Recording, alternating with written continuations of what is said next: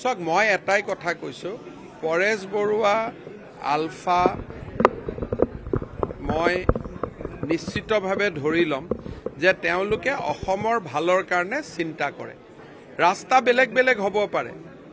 কিন্তু তেওঁলোকৰ মনতো তেওঁলোকৰ গান ভিডিঅ' ৰেকৰ্ডিং দেখিলে আমি এইটোকে বুজি পাওঁ যে তেওঁলোকে অসম আৰু অসমীয়াক ভাল পায়। যদি মই অসম আৰু অসমীয়াকে ভাল পাওঁ তেতিয়াহ'লে অসম আৰু অসমীয়াৰ বোম দি পেলাই কি লাভ হ'ব? যদি বোম দিব লাগে বাহিৰত দিম। যদি আৰ্মিকে আৰ্মিৰ কনভয়তে এটেক কৰিব লাগে আমি আমি বেলেগ জেগাত কৰিম। অসমত আমি কিয় কৰিম? অসমত যদি দিছপুৰত বোম দিওঁ অসমত যদি যোৰহাটত বোম দিওঁ এফেক্ট কাৰ হ'ব? অসম আৰু অসমীয়াৰ হ'ব।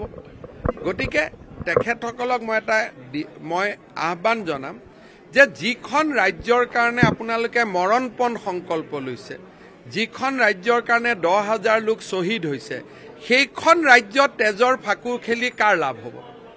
গতিকে মই এই কথাটো প্ৰথমৰ পৰাই কৈ আছোঁ। গতিকে মই ভাবোঁ যে অসমত তেওঁলোকৰ পলিটিকেল এক্টিভিটি থাকক বেয়া নাপাওঁ কিন্তু অসমত মিলিটেণ্ট এক্টিভিটি থাকিব নালাগে। আপুনি বিচৰা বাতৰি পাব কেৱল নিউজ এইটিন এপত। নিউজ এইটিন এপ ডাউনলোড কৰিবলৈ স্কেন কৰক এই Q R code Google play ষ্টৰতো পাব এই নিউজ এইটিন এপ